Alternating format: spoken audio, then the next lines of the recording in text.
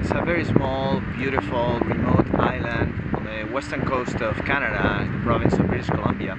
And I'm here with Chris Jordan, Jan Vozenilek and Bill Weaver, the members of the Midway Journey Expedition. We came to a retreat um, called Hollyhock uh, for a conference called Media That Matters.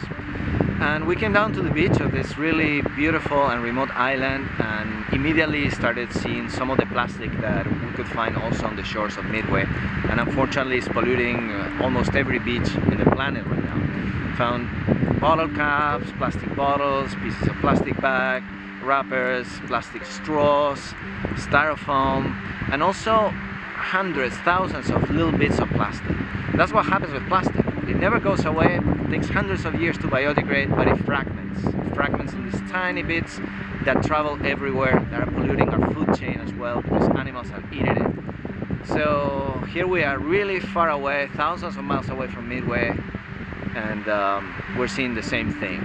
Plastic, stupid uses of plastic, single-use objects that we only need for a few minutes, seconds, or days, but that are going to be with us uh, polluting our environment for hundreds of years. We have to refuse single-use plastics and we have to start thinking how we use this material.